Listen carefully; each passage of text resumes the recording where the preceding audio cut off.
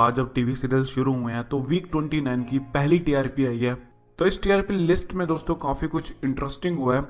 और top 20 shows कौन से और उनकी क्या टीआरपी है? चलिए दोस्तों, फटाफट से देख लेते हैं।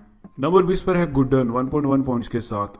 नंबर 19 पर है उत्तर रामायण 1.2 पॉइंट्स के साथ। नंबर 18 पर है जग जननी माँ वैष्णो देवी 1.2 पॉइंट्स के साथ। नंबर 17 पर है राधा कृष्ण 1.3 पॉइंट्स के साथ। नंबर 16 पर है ये रिश्ते हैं प्यार के 1.3 पॉइंट्स के साथ।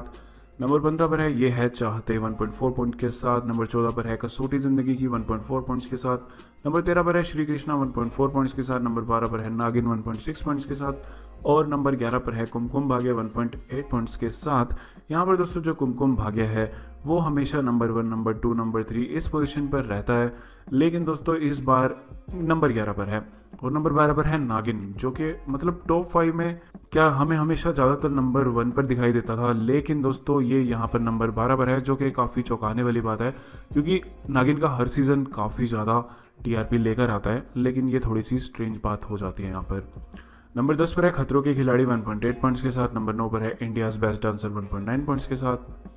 नंबर आठ पर है बैरिस्टर बाबू 1.9 पॉइंट्स के साथ। नंबर सात पर है ये रिश्ता क्या कहलाता है 1.9 पॉइंट्स के साथ। नंबर छह पर है महाभारत, जो कि स्टार प्लस पर आती है 1.9 पॉइंट्स के साथ। टॉप फाइव की बात करें तो नंबर पाँच पर है छोटी सरदारनी 1.9 पॉइंट्स के साथ। नंबर चार पर है शक्ति अस्तित्व के एहसास की, टू पॉइंट्स के साथ। नंबर तीन पर है कुंडली, भाग्य 2.1 पॉइंट्स के साथ, नंबर दो पर है अनुपमा 2.4 पॉइंट्स के साथ, नंबर वन पर है तारक मेहता का उल्टा चश्मा 2.6 पॉइंट्स के साथ। तो भाई जैसा कि मैंने आपको बताया था कि टीआरपी में तारक मेहता का उल्टा चश्मा जो है वो काफ़ी नंबर वन पर आ सकता है। और गाइस वैसा ही हुआ क्योंकि सबसे ज़्यादा जो चर्चे थे, तारक मेहता का उल्टा चश्मा के थे। और उसका रीज़न ये था कि तारक मेहता का उल्टा चश्मा की जो टेलीकास्टिंग है, वो काफ़ी लेट हो चुकी थी, क्योंकि उनकी शूटिंग लेट स्टार्ट हुई थी, डेढ़ हफ़्ता, दो हफ़्ता बाद स्टार्ट हुई थी। लेकिन दोस्तों, यहाँ पर चौंकाने वाली बात यह है, सबसे इंटरेस्टिंग बात यह है कि तारक मेहता का उल्टा चश्मा काफ़ी लेट स्टार्ट हुआ था मतलब वेडनेसडे मतलब वेडनेसडे के दिन से स्टार्ट हुआ था। लेकिन दोस्तों, फिर भी तारक मेहता का उल्टा चश्मा की जो रेटिंग है, वो सभी सीरियल से ज़्यादा ही है तो ये काफ़ी ज़्यादा इंटरेस्टिंग बात हो जाती है।